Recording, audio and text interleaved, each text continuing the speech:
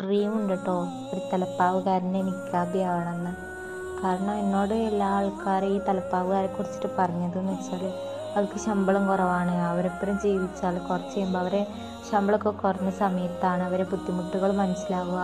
അവരങ്ങനെയാണ് അവരിങ്ങനെയാണ് അവർ കൂടെ ആകുമ്പോൾ മോടി പൊതിച്ച് നടക്കേണ്ടി വരും.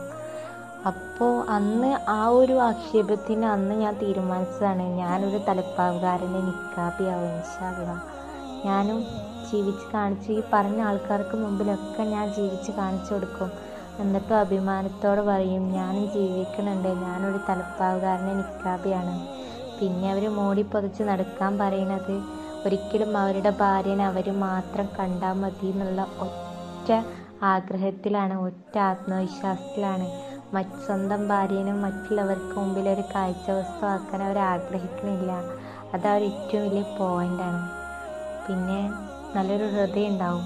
അത് ഉറപ്പാണ്. കാരണം ആ ഒരു പത്ത് പതിനഞ്ച് വർഷം അല്ലെങ്കിൽ പത്ത് വർഷം എട്ട് വർഷം ഏഴ് വർഷമൊക്കെ ഉമ്മാനും വാപ്പാനൊക്കെ മാറ്റി നിർത്തിയിട്ട് പഠിപ്പിന് വേണ്ടിയിട്ട് ദർസിലും പള്ളിയിലൊക്കെ ഇരുന്ന് പഠിക്കണമെങ്കിൽ അവർ പവർ നോക്കട്ടെ. അതുകൊണ്ട് തലപ്പാവിനോട് എല്ലാവരുടെ മുഹബത്താണ്. ഇൻഷാല്ല ഇതുവാ ചെയ്യും. നല്ലൊരു തലപ്പാവുകാരനെ കിട്ടാൻ വേണ്ടിയിട്ട്